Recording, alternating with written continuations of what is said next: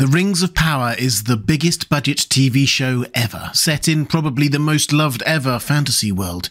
But should you watch it? Let's take a look. Hi everyone, this is Robert. Welcome to In Deep Geek. On this channel, we cover the best in fantasy fiction The Lord of the Rings, A Song of Ice and Fire, The Witcher, and more. Welcome. I'm writing this introduction to The Rings of Power in advance of season two of the show, so please take everything here in that context. And there are obviously some small spoilers here. I'll try to keep them to a minimum, but, well, this world was created nearly a century ago, and one of the world's most successful movie trilogies ever is essentially a sequel, so, well, you know. We all know The Lord of the Rings, not just the biggest and most genre defining fantasy story of all time, but one of the biggest selling books of all time. Forget all other pretenders, The Lord of the Rings is the fantasy franchise. Though I suspect that Tolkien would have balked at the concept of his creation being a franchise, it was a legendarium to him. That said, the books sold hundreds of millions of copies. The films are some of the most watched and winniest, if that's even a word, films ever, and now Amazon have the rights to make TV shows in this world, in the world's most expensive TV rights deal. This is a massive deal. Actually, the exact rights that have been bought are an issue that we should probably briefly address first up. Rather than remake either of the two main stories, Amazon made the decision to tell the story of the Second Age of Middle-earth, something that has never appeared on screen before, and that Tolkien wrote about in less detail than The Hobbit or The Lord of the Rings. A lot of important things happen in that age, We'll get onto that in just a moment, but there are also a lot of massive gaps in the timeline, and a lot that we do know is in books like The Silmarillion and The Book of Lost Tales that Amazon do not have the rights to. They do, however, have the rights to the extended appendices to The Lord of the Rings and can use some other details on a case by case basis with permission from the Tolkien estate. And so you know, yes, Amazon do have the rights to make other shows in Middle Earth if they so wish. They haven't announced anything yet, but the option is there. So, what does all that mean in practical terms? Well, it depends on how purist you want to be with adaptations of Tolkien's Legendarium. For what it's worth, unless you are the kind of person who knows their Silmarillion back to front, you probably won't even notice most of the changes.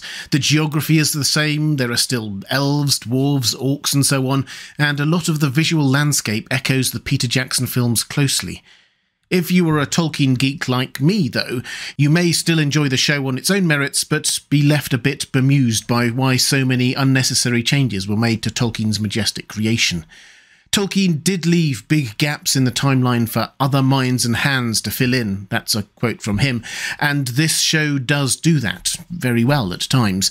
But the changes also extend to some pretty fundamental parts of the Legendarium. For example, the entire setup around the forging of the Rings of Power, pretty central in a show called The Rings of Power, is changed from Tolkien's version. In any event, what has emerged so far is a rather loose adaptation of what Tolkien left us some of which is the result of the rights issue, but much is clearly creative decisions by the showrunners and writers.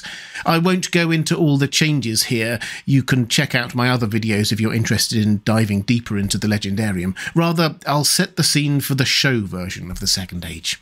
However, being clear about the first big change is necessary the time compression. Tolkien's Second Age covers about three and a half thousand years and includes some of the most important moments in the Legendarium. The forging and distribution of the Rings of Power, including Sauron forging the One Ring, the War of the Elves and Sauron, the rise and downfall of Numenor, the establishment of the kingdoms of Arnor and Gondor, and then the last alliance of elves and men, culminating in the ring being cut from Sauron's finger.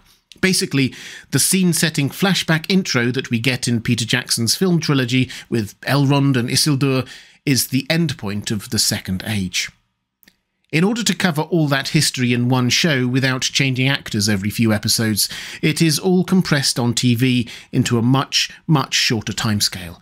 We join the action about a thousand years into the Second Age, and then the next two and a half thousand years are compressed into just a handful of years on screen.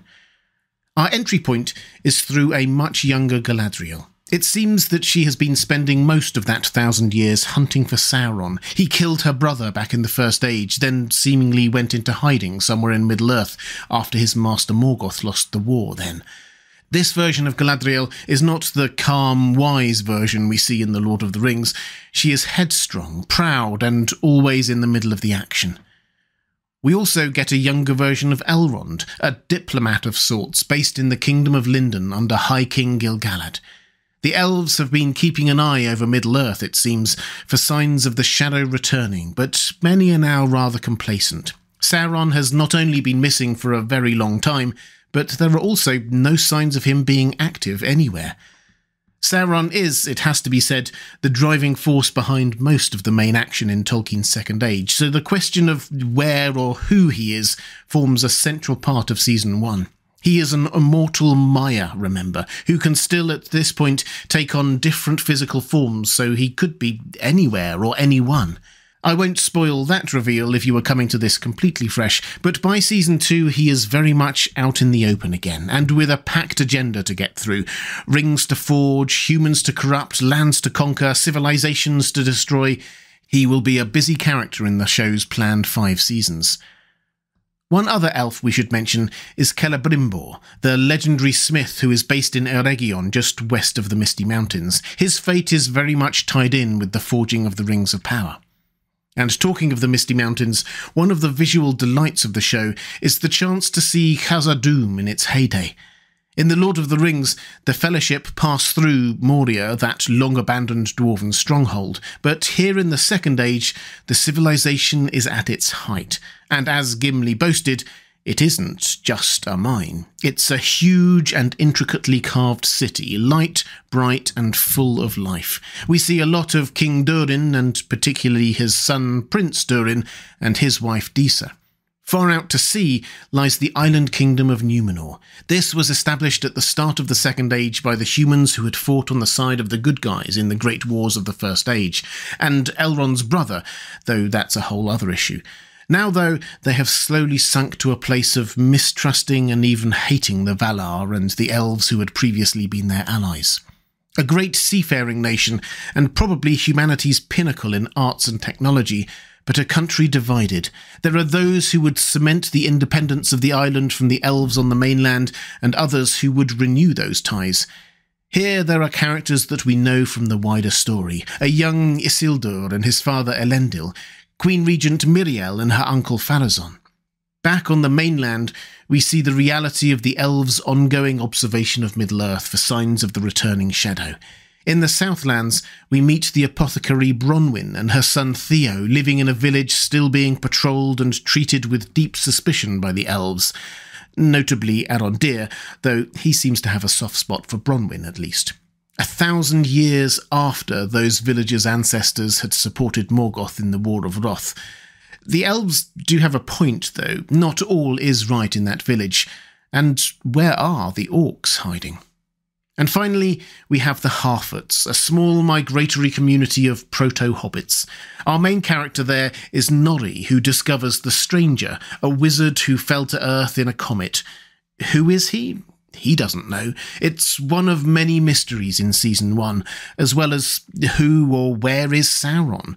What are the dwarves hiding? Why is Celebrimbor in such a rush to finish his massive new forge?